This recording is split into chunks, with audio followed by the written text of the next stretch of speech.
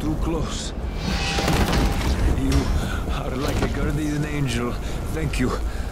Please, take this. It is all we have.